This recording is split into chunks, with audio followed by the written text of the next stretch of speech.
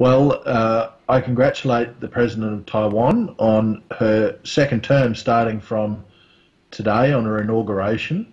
Uh, I think that uh, is a tremendous woman. She's certain, certainly shown uh, uh, fierce independence on behalf of her peoples, and I would encourage her to continue along that path and Godspeed to all that she does.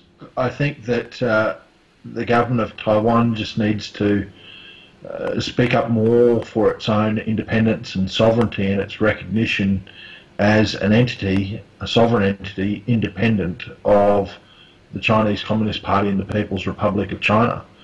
Uh, I think uh, Taiwan should just get recognition as an independent nation and be admitted to every single body that there is. Um, but you know, I can understand why the government's very reluctant to uh, to take that hard line. We, and again, it comes back to bullying, and again, it comes back to the economic entanglement that we've got ourselves into with the Chinese Communist Party.